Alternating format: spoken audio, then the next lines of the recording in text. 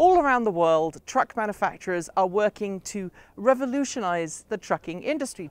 The emissions of the trucking industry are pretty huge, and we rely on trucking every single day, be it to get food to the supermarket, to get goods and devices and cars, and pretty much anything that needs to be shipped from one place to another is shipped using a truck.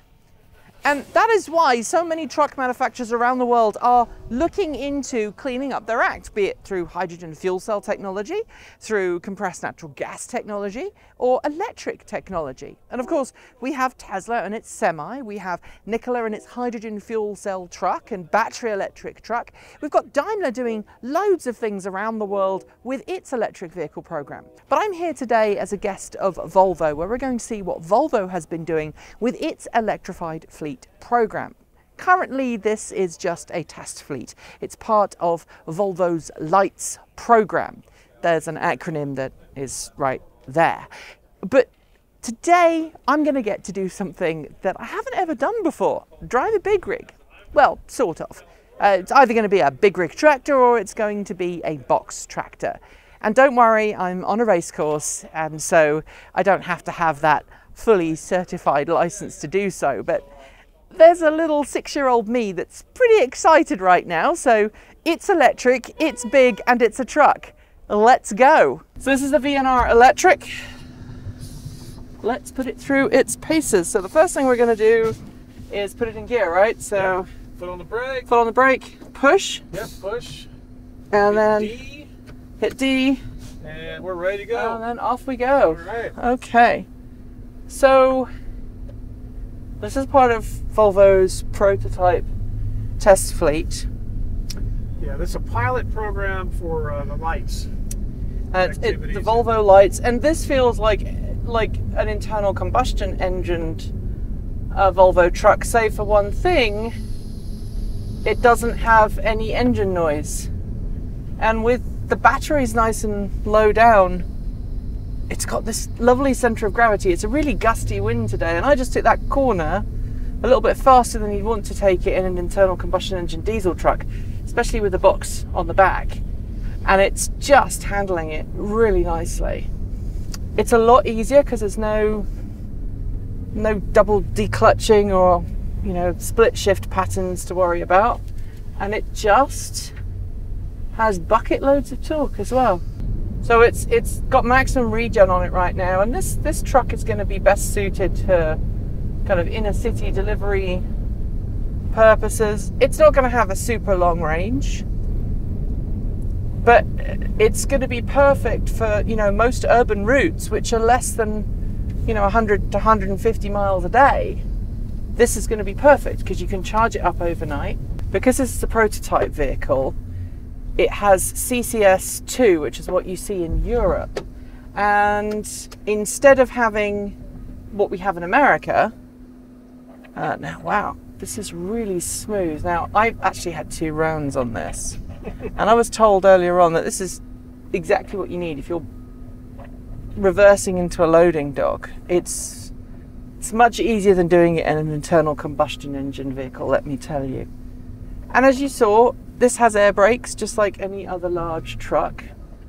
But it also has regenerative braking, which is very powerful and can obviously help recapture some of the energy.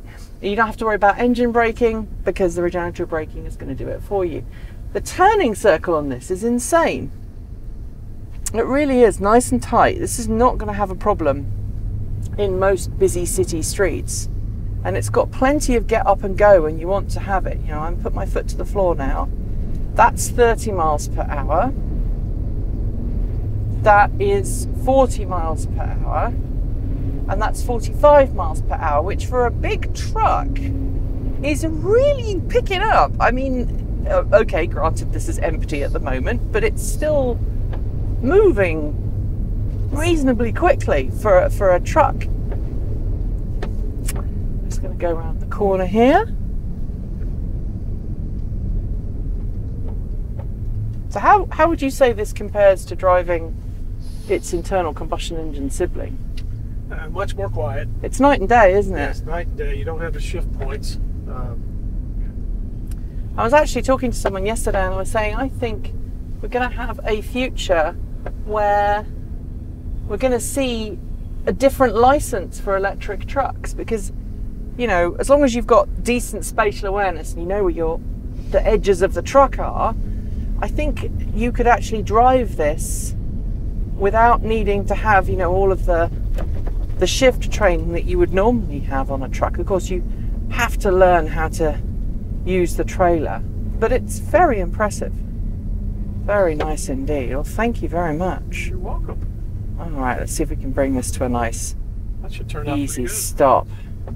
Nice, slow braking. The regen's a little bit hard because we're in level three. And of course, if this was full with what, 10 tons of stuff in the back, then you would need it to be really quite, um, quite brutal. If you look at the gauge, there's very little information here, but you don't really need a huge amount of information because you know as long as you've got your your, your parking brake pressure, your regular air brake pressure, and um, how much power you're pulling and how fast you're going, that's really all you need to know. So there's a lot less distraction for the driver as well compared to your normal truck, and you don't have your shift lever down here, which means you've got more space in the in the cabin. Mhm. And the two-speed gearbox, tell me about that. How does it change quickly? Is it just it, does it automatically change? Yeah, automatically changes between 10 and 20 miles per hour. Right. It is seamless. Uh, there's no clutch, Right. So uh, it doesn't have to slow down actually to synchronize gears. And and so it's changing, switching. Is it switching between series and parallel operation for the motor, or is it is it an actual gearbox that? Well, it's an actual shift in the gearbox. Yeah. Okay, cool. So just to give you a little bit more torque to start with, yeah. It's be interesting to see what what happens, you know, when these become a little bit more commonplace. That was a really cool experience. Not only is this super easy to drive, and that could have some major implications for future truckers who want to learn to drive.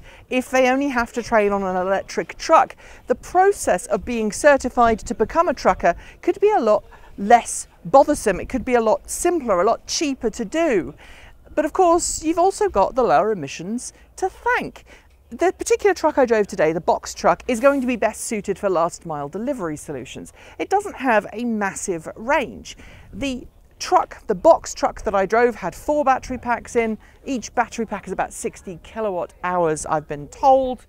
The tractor unit has eight battery packs in, so I'll let you do the math. But when you're towing a heavy trailer, you really do have to have some beefy battery packs and beefy motors to boot. This thing has got twin electric motors, it's got a two speed gearbox, and it drives silky smooth. I would have thought that I was driving an electric car were it not for the fact that I was a long way off the ground driving a truck.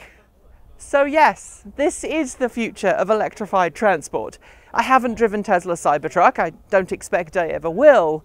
But if Volvo's project is anything to go by, I think the future of trucking could very much be electric, at least for short haul. We still have to worry about that long distance travel. Although there are things called trains. Maybe we should look into that too. Don't forget to like, comment, and subscribe. You can support us through Patreon or Ko-fi, and I'll see you very soon.